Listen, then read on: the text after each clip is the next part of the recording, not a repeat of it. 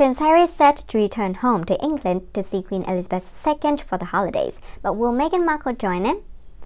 Descendants of the crown only. Prince Harry is scheduled to travel home to the UK before the end of the year to meet with Queen Elizabeth II, perhaps without Meghan Markle in tow. Frogmore Cottage has been prepped for Harry's holiday arrival in December, a source tells US Weekly. Despite the 36-year-old Duke of Cambridge's imminent departure from his new California home, Meghan, 39, is not certain she wants to meet up with the in-laws she left behind.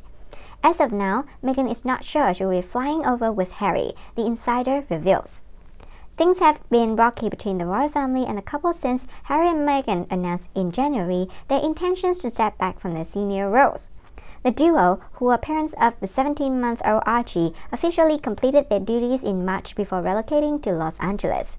They have since settled in the Montecito community of Santa Barbara, California, purchasing a $14.65 million home in June.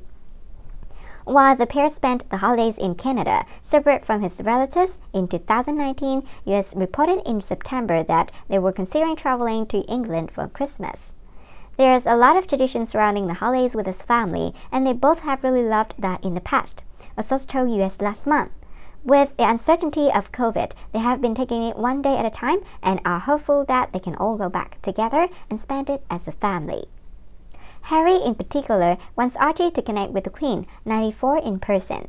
They have so much fun over Zoom, and they have bonded through Zoom calls, the insider said.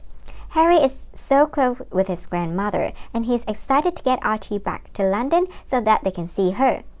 Still, the coronavirus pandemic has caused new questions to arise, such as whether the trio would need to quarantine for two weeks upon their arrival. Time will tell if that need to happen and if it could potentially impact what they do and when, the source added. In the meantime, Harry and Meghan have been ha have been hard at work making their mark in the US. The two some have signed a deal with Netflix, volunteered with Baby to Baby, and advocate for voter turnout on election day.